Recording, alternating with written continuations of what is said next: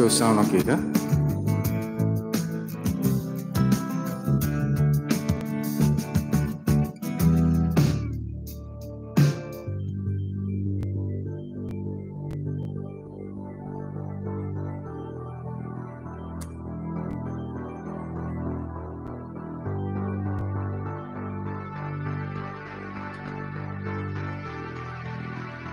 So, agak sound okay ya.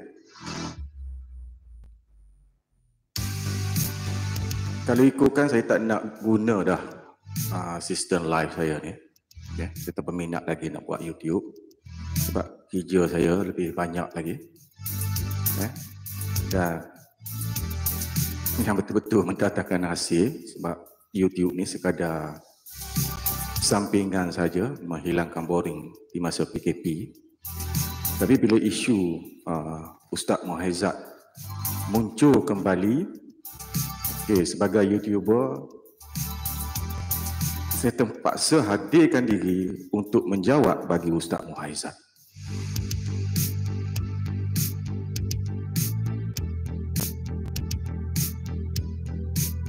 So saya harap sound okey ya.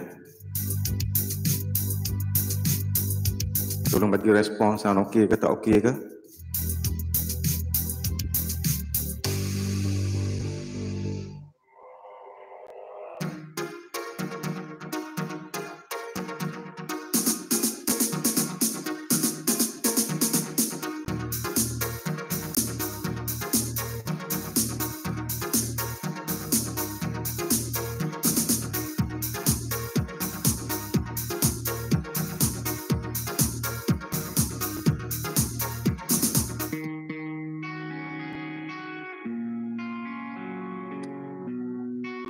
Kenapa isu Ustaz Muhaizat ni begitu diambil berat?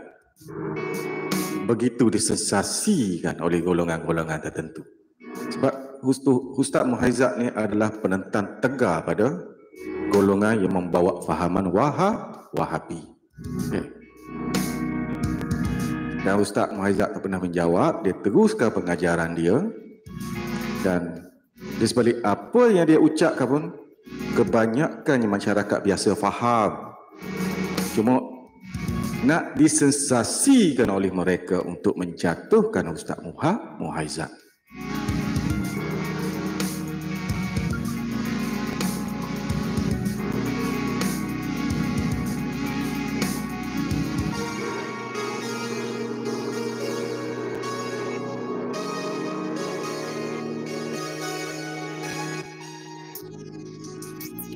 Bila Ustaz Muhaizat menimbulkan isu bila Nabi ke kiri, kita ikut ulama ke kanan dan dijadikan isu. Benda ni sangat senang untuk difahami sebenarnya. Eh, kenapa? Rasulullah dah meninggal dunia. Rasulullah dah tiada. Eh, tapi kita baca Al-Quran, kita baca hadis, kita tak boleh nak berdepan dengan Rasulullah untuk mendapat kefahaman di sebalik Al-Quran dan hadis. So kita ikutlah ulama-ulama agar boleh bagi penerangan. Di sebalik setiap ayat Al-Quran dan hadis yang mungkin kita salah faham. So kalau kita baca seorang diri Al-Quran ataupun hadis seperti yang dibagi contoh oleh Ustaz Muhaizat Allah tiada awal, tiada akhir. Kan masalah tu. Kita tahu tak Allah ni awal dia aw, dia dia dia dia mempunyai dia tiada awal, awal yang tak ada permulaan, dia tak ada akhir, akhir yang tak ada kesudahan. So, kalau kita pakai direct Al-Quran ataupun hadis menyebabkan kita akan salah salah faham di sebalik ayat tersebut. Bukan maknanya Ustaz Muhaizat suruh jangan ikut Nabi Muhammad. Kita tetap berpandukan ajaran-ajaran yang disampaikan oleh Rasulullah sallallahu alaihi wasallam. Cuma Rasulullah sekarang sudah tiada dan kita kena ikutlah ulama-ulama mereka kerana mereka yang lebih arif di sebalik maksud Al-Quran dan hadis. Jangan main kita baca sendiri Dan kita buat kefahaman sendiri. Yeah. So,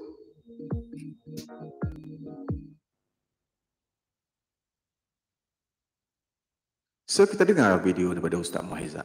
Apa yang Ustaz Muhaizat sampaikan. Ya?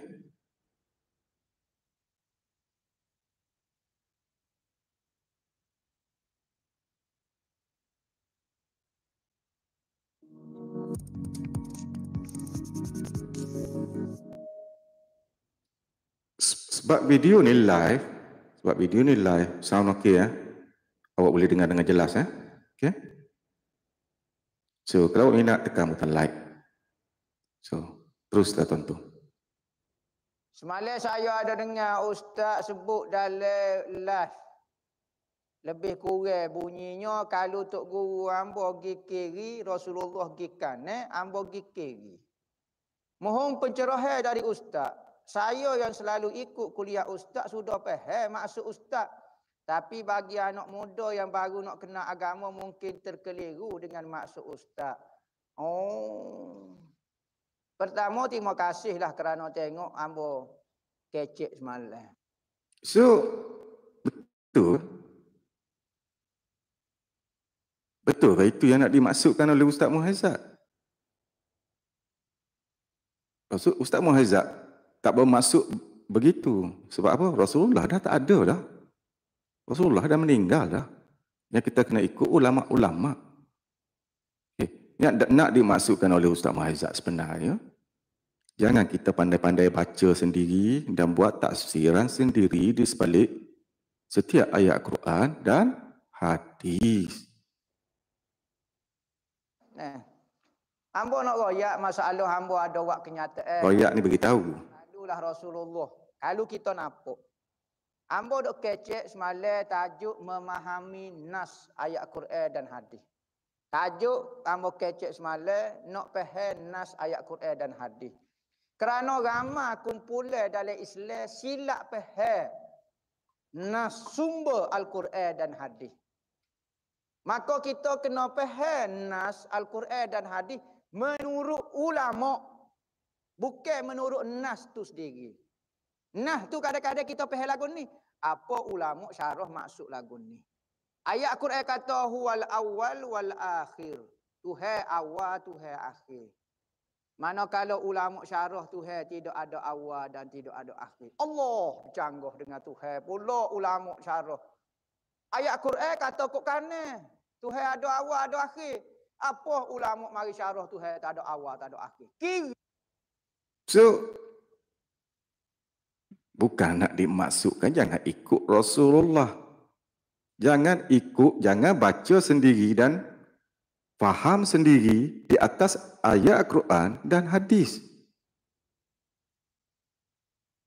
Rujuklah pada ulama-ulama yang lebih arif lagi pak maksud di sebalik Al-Quran dan hadis. Kita nak pergi hok kita faham ke hok ulama faham? Maka timbul istilah orang-orang sebut ulama-ulama kata istilah saja kalau ambo tengok ambo tengok Rasulullah ke kanan. Ula guru ambo ke kiri ambo ikut guru ambo lagi. Apa? Bukan kata Rasulullah tu salah. Tetapi kita nampak ayat ataupun nas ataupun hadis ni kata macam ikut kanan. Apa guru kita faham ikut kiri? Ikut kiri sebenarnya. Seperti nas ayat Quran saat ni Tuhan kata ada awal ada akhir. Ulama mari kata Tuhan tidak ada awal tak ada akhir pula. Kita kena nampak kanan kiri. Pak kalau kita ikut kata Tuhan ada awal ada akhir tidak kau selok. Tidak kau jadi punah. Maka kita So, kebanyakan orang orang awam lah bila saya tanya dia orang faham pun apa yang tak dimaksudkan oleh Ustaz Muhaizat. Eh, itu perumpama, perumpamaan sahaja. Nak menyatakan jangan baca Al-Quran dan taksir sendiri. Taksir ikut apa yang diberitahu oleh ulama-ulama mutabar. Eh, tapi ditimbulkan isu kononnya Ustaz Muhaizat tak bagi ikut Rasulullah. so, jadi jadi masya-Allah masalah lah ditimbul oleh golongan-golongan tersebut. Ikut siapa dia pada masa tu? Ikut pahamat ulama. Ayat Quran itu tetap ikut, Nabi tetap ikut tapi menurut paham guru kita. Kerana kita tak faham ayat Quran nah ayat Quran banyak benda. Kita akan sesak kalau kita derek dengan Nabi. Kita kena ikut guru kita. Eh, bukan kata ikut ulama tinggal nabi, bukan ayat tu maksud lagu tu nak royak pahame lo ni. Eh, sebab ramai Wahabi duk baca Quran, Wahabi duk baca hadis, Wahabi duduk oh, Mu'tazilah, oh Syiah, tapi sesat berlaku. Ah, inilah sebabnya dia orang ni panah untuk disebabkan benda ni lah. So, bila kita tak ikut Rasulullah, kita baca Al-Quran yang disampaikan, yang diturunkan Allah melalui Rasulullah. Kita baca hadis-hadis yang datang daripada Rasulullah dan kita tak pernah tak ikut Rasulullah. Cuma di sebalik ayat itu agar kita jangan baca dan ambil kefahaman sendiri seperti golongan yang disebut oleh Ustaz Muhazzad. Apa dia ikut Quran hadis apa tak ikutnya? Patut ikut Wahabi lah. Berarti ambo kata kalau ikut napuk, ambo napuk, kalau kita napuk Rasulullah ke kanan. Guru ulama kita ke kiri, kita ikut ke kanan, Wahabi kita. Tu dia. Gegel lagu tu. Jadi Wahabi lah. Jadi gegel lah. Ambo kecek lagu tu kata ambo hina Rasulullah. Jadi ngamuk pok dia pula nak bela. Sama keni duduk tak suka Rasulullah. Naik Syekh Rabbana pula. Nah, dia kata kita duduk naik Nabi Muhammad. Kalau dia mungkin duduk perlekeh, duduk napuk biasa Nabi Muhammad. Nah, tiba-tiba dia mengamuk pula naik Syekh Rabbana. Nak puja-puja. Ya, sebelum ni kita bila buat mauludu Rasul, eh, dia orang kata mengikut mengikut apa tu? Mengikut Hindu, Taipusan. Dia orang boleh mainkan. Okay. Ay, tiba-tiba bila isu ini, ah, dia orang naik ke depan. Seolah-olah baik kan? Kebanyakan orang awam pun faham. Pak Rasulullah sudah meninggal dunia. Kita kena ikut alim ula, ulama dan mengikut taksiran-taksiran yang diberi, diberi oleh alim-alim ulama. Eh, jadi apa yang dimaksudkan mengikut Rasulullah, jangan ikut Rasulullah, jangan baca sendiri, jangan pandai-pandai tafsir sendiri sangat mudah difahami tapi ditimbulkan isu oleh mereka. Puja pula Nabi. Baguslah perasaan nak puja Nabi. Kita suka lah lagu tu. Bela Nabi. Eh, biarlah demo Wahabi. Kena bela Nabi. Kuan-kuan. Eh, ah. biarlah demo selama kini tak bela. Hari ni yang nak bela. Napuk macam nak bela. Eh. Oh, tak apa. Kita molek lah lagu tu. Nah. Lagu tu lah. Hmm. Nampak macam nak bela Rasulullah. Tapi bila kita nak buat maulid Rasul, dia kata, itu tak dibuat di zaman Nabi. Yeah. So, dia kata ah, amalan tu seperti amalan yang dibawa oleh Hindu di masa hari Taipusan. Teruk ni, mana kerjaan kena ambil perhatian pada benda ni yang ditimbulkan oleh golongan-golongan Wahabi ni. Okay. Boleh dia menyatakan, eh, menyambut Mauludur Rasul macam Hindu merayakan Taipusan.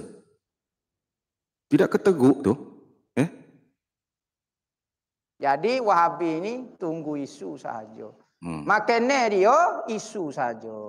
Nah, manusia kalau makan dia lagu tu tak lambung, tak lambat. Temulah. Tak ada benda yang tersilap sikit daripada mulut Ustaz Muhaizat. YouTuber-YouTuber yang cari makan melalui Riyadh akan menggunakan nama Ustaz Muhaizat.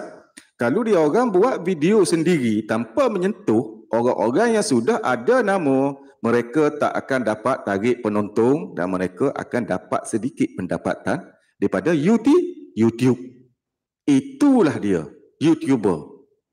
Ah, saya jangan kata macam tu. Saya akan react untuk membela Ustaz Muhaizat saja. Okey. Saya bukan betul-betul cari makan melalui YouTube. Saya dah ada kejaya saya, saya dah ada sumber pendapatan saya, saya tak memerlukan duit daripada YouTube pada hakikat yang sebenarnya. Okey. Okey, kita terus dengar. Tak geruh dia. Nah, bukan makanan kita isu orang. Nah, ni dok cari tengok video, tengok gapo, bukan nak cari petunjuk, bukan nak kenal Muhammad, bukan nak kenal Allah, nak cari kelemahan orang. Boleh lah, tak ada masalah. Eh. Hmm. Mojo pok dia tak hidup zaman Nabi. Allah Rabbi. Dah. Kalau tidak habis saya Abu Bakar, tak boleh gerak saya Abu Bakar. Saya nak Umar, saya nak Osman sudah. Habisnya kata pakak-pakak. Faham dia? Eh, hamba tak kata lagu tu. Nipu kohong. Inilah golongan-golongan yang membawa fahaman Wahabi. Bila Ustaz Muhaizat sebut saja dia orang dah panas bon, bontuk. Dalil mana dalil? Dalil. Dalil mana dalil? Seolah-olah rakyat Malaysia ni tak faham. Apa yang dimaksudkan golongan-golongan yang membawa fahaman Wahabi? Ya. Yeah. Okay, kita terus dengar. Tengok gak kawarih tu, Wahabi zaman Rasulullah. Rasulullah dia tegur lagi. Sahabat tu mesejnya. Sahabat Allah dah bagi dia. Eh, oh, lagu tu. Dia kata Quran ambo lebih besok. Semaya ambo lebih besok. Nabi sebut lagu dah. Kumpul dia lagu tu dah. Dengan Rasulullah dengan sahabat. Bah kita ni. Boh tapak kaki popok dia. Lah. Memang tradisi dia dah. Siapa dia yang dibenci oleh Wahabi waktu waktu. Eh, ha, jadi tak usah terpengaruh lah dengan isunya. Isu ni isu Wahabi. Deh. Kenapa dibenci sangat oleh Bapak Wahabi? Sebab Ustaz Muhazzak menentang kefahaman Wahab, Wahabi. So, golongan Wahabi ni golongan yang satu persen saja di keseluruhan rakyat Malaysia. Tapi cuma dia orang tu vokal melalui YouTube dan Facebook sahaja. Ulama-ulama pondok ni masih berdiam diri. Sebab ulama-ulama pondok tak main YouTube, tak main Facebook. Oh, tak sudah bimbang. Tak sudah buat gapo dia, pok kita peheda, set kita jasa pecah. Eh, ha, lagu tu. Anak sebenarnya malah jawab tapi dia demo suruh jawab, jawablah. Ambil hati orang, eh. Benarnya kalau isu Wahabi buat, ambo tak layak sebenarnya Wahabi masuk ambo. Ambo banyak. so bila saya kontak golongan-golongan tertentu yang disensasikan oleh golongan-golongan yang membawa fahaman Wahabi di dalam Facebook dan YouTube. Saya kenapa saya kata kenapa engkau tak strike? Boleh strike pada menggunakan sedikit sahaja daripada YouTube tersebut ataupun Facebook tersebut. Golongan-golongan ini mengatakan, buat apa nak strike doktor? Biarkan nampak macam menghina kami. Pada hakikat mereka telah mengiklankan kami. So, YouTube kami, Facebook kami lebih ditonton dan lebih ramai manusia yang mencari kami. Kami yang dari Quran dikenali, semakin di, dikenali seolah-olah mereka sudah mengiklankan kami. Ah, itu jawapan mereka. lagi. Eh, ah, nak buah, nak berderak, nak berapa dia. Eh. Wallahu a'lam al-Fatihah. Muhaizat. Very cool. Very cool guy. Ni cara dia. Dia tak ada nak react pada apa-apa. Eh, dia tetap mengajar, dia tetap ceramah walaupun dia kecam, Walaupun dihi, dia hina. So golongan-golongan ini cuma nak mensaksikan nama Ustaz Muhaizat, nak mencari salah daripada balik Ustaz Muhaizat indirectly. Ya, orang akan lebih kenal mereka. Mereka bukan nak mengajar tapi lebih nak mencari sensasi. Kononnya nak menumpan nama Ustaz Muha, Muhaizat. Okay, kita dengar satu video daripada uh, Ustaz Azhar Idrus. Soalan saya Ustaz, yang mana saya nak ikut cara solat antara mazhab atau cara hadis? Hmm. So, bila kita pergi bab dalam kefahaman di sebalik ayat-ayat Al-Quran dan di sebalik hadis, bila kita baca direct di sebalik ayat-ayat Al-Quran dan hadis, dan kita menyangkakan kita sudah faham di atas taksir yang kita buat sendiri pada hakikatnya tak ber, tak betul, tak ter, tak tepat. Eh, Ustaz dah Muazzak dah bagi dah contoh. Bila kita bila, bila di dalam sana nyata ke Allah tiada awal tiada akhir pada hakikatnya tak ber, tak betul bila sebalik kefahaman di sebalik apa yang diterangkan oleh ulama-ulama kita. Okey. Contoh dia, kita dengar video daripada Ustaz Azhar Idrus. Oh, ni lagi berat penyakit. dia kata nak ikut mazhab atau nak ikut hadis? Jawabnya ikut mazhab. Mana boleh ikut hadis? Dulu saya bengong kok Pak ni. Kena ikut hatinya. Faham? Kenapa ikut mazhab? Rupanya mazhab ini ialah ulama. Jadi kalau kita dapat satu hadis, ada tak ulama yang memberi keterangan? Ada tak? Kena ikut tak keterangan tu? Kena ikut atau tinggalkan keterangan ulama pakai hadis saja. Faham? Kena ikut keterangan ulama. Kerana dia alim. Faham lagi? Ah, sebab ada hadis yang tak boleh diamalkan, ada hadis yang sudah mangsuh dinasahkan. Betul tak? Ah, ada hadis walaupun sahih tak boleh ikut, kena ikut ulama. Contoh, contoh, contoh, contoh. Hadis sahih Nabi melarang menulis hadis. Hadis tu kalau tulis tu Nabi larang. Tu hadis sahih, jangan tulis hadis. Jangan tulis ucapan. Hadis sahih ha? Tapi nak ulama buang hadis ni pakai. Ulama langgar juga tulis hadis. Kenapa? Kerana mereka ulama. Ha? Kita yang dalam masalah ni, eh kita pakai hadis ni ya. Maka semua kitab-kitab hadis tu haram baca. Kerana saya jumpa hadis sahih, Nabi larang tulis hadis. Betul tak? Tapi ulama lebih tahu. So, nak ikut yang mana satu? Tapi hadis yang mula-mula melarang menulis hadis tu masa tu Rasulullah masih hidup. Rupanya Nabi larang pasal ayat Quran masih turun. Sedang turun dan akan turun. Wahyu belum putus. Nabi tak benar tulis. Tulis sabda Nabi. Nabi suruh tulis ayat yang turun saja. Takut bercampur aduk hadis dengan ayat. Faham lagi? Ha, itu ulama. Jadi kena ikut ulama. Dah. Ha. Hadis pertama Nabi larang, hadis kedua Nabi suruh. Hak mana mu nak ikut? Kena tengok ulama. Sahih Bukhari ada tak tukang syarah? Ada Imam Al-Hafiz Ibn Hajar Al-Asqalani, Syekh Badaruddin Aini dan seumpamanya. Betul tak? Ulama-ulama dunia semua melihat pandangan ulama tentang satu-satu hadis.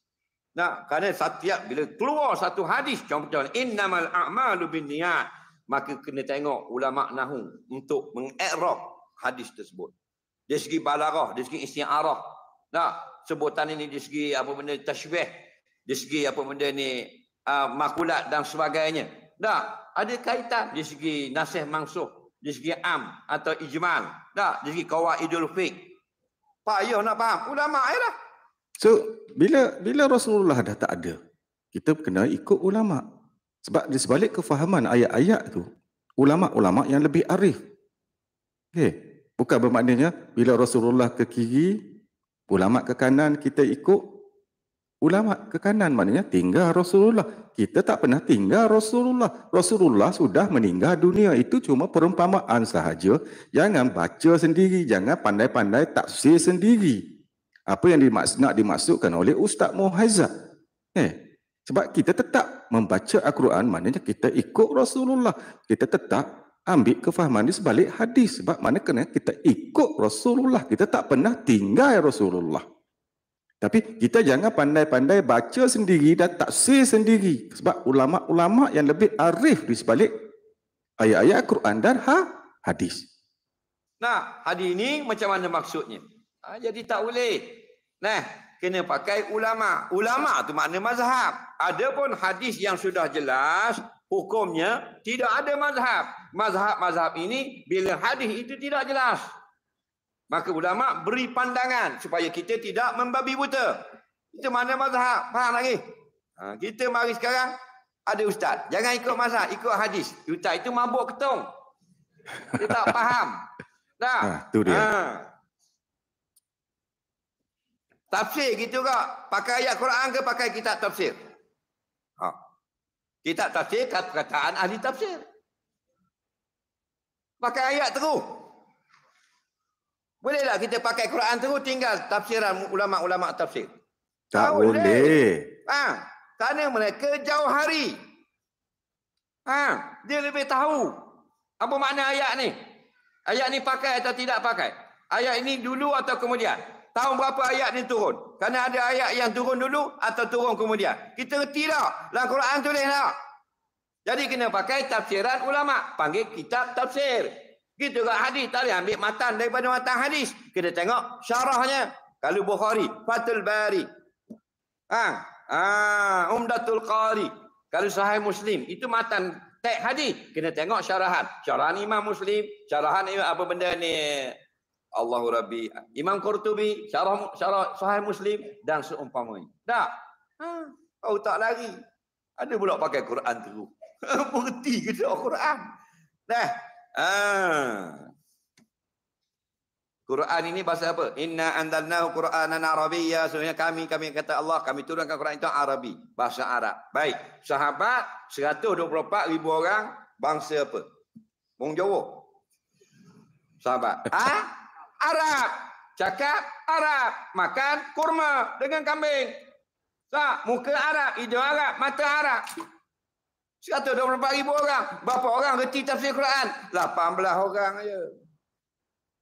124 ribu semua Arab, sahabat Nabi. Faham? 18 orang reti tafsir Quran. Hmm. Ha, ha, ha. Mu muka dah Arab. Mata menggelap. Ha, hidung Mexico. Ha, nah. Mulut pun dah tahu mana. Nah, eh, direct Quran. Tak payah pakai tafsir. Tak boleh. Faham? Mazhab tu bukan kerekaan. Faham? Pandangan ulama-ulama pada ayat-ayat yang kalau tak beri pandangan, kita silap. Ha. Soalan seterusnya. Jelas. Sejelas apa yang disampaikan oleh Ustaz Azhar Idrus. Kita tak boleh nak pandai-pandai buat taksir sendiri tanpa rujuk ula ulama. Itu yang nak dimaksudkan oleh Ustaz Muha Muhaizat. So golongan-golongan yang membawa fahaman Wahabi ni mengelupu saja nak cari silap bila kita tanya orang kampung sekali orang kampung faham apa dimaksud apa yang nak disampaikan oleh Ustaz Muhaizat eh tiba-tiba nak mempertahankan Rasulullah kononnya tapi bila kita nak sambut Mauludur Rasul apa dia orang kata eh dia kata itu tak dibuat di zaman Rasulullah. Apa yang kita buat sekarang ni tak jauh beza dengan Taipusan sambut Hindu sambut hari Taipusan macam tu sekali ke? Bila kita nak buat Muhammad Rasul, bila kita nak mengagung-agungkan, kita nak menunjukkan kasih sayang kepada Rasulullah, dia kata kita macam Hindu sambut Taipusan. Tiba-tiba dalam isu ni dia nak jadi jago pula. Okay. So saya saya tak tak jumpa cari uh, ustaz tu yang menyatakan uh, menyambut Maudhu Rasul ni macam Hindu sambut Tai Taipusan. Kalau awak jumpa awak cari tengok video satu ustaz yang berfahaman wahabi. Adakah macam tu? Adakah kita nak sambut Maulud Rasul macam sambut Taipusan? Eh. So bila bila pergi pada tasawuf pula, dia kata apa? Macam buat air cap, air longkang. Amalan tasawuf ni macam air longkang. Ah inilah yang golongan-golongan yang bawa fahaman Wahabi. Eh, nak baca Yasin malam Jumaat tak dibuat oleh Nabi. Bid'ah, itu bid'ah, ini bid'ah. Padahalnya Dr. Nasir hari-hari buat bid'ah. Kita semua hari-hari buat bid'ah. Kenapa? Bid'ah tu adalah benda yang tak dibuat oleh Rasulullah. Tapi kalau bid'ah yang elok, patut kita i, ikut. Eh. Ah, itulah dia. So, golongan mereka ini adalah golongan yang satu persen saja di seluruh rakyat Malaysia golongan yang bawa fahaman wahabi. Satu persen saja. Cuma dia orang vocal di dalam YouTube dan Facebook. Seolah-olah mereka ni ramai sangat. Seolah-olah.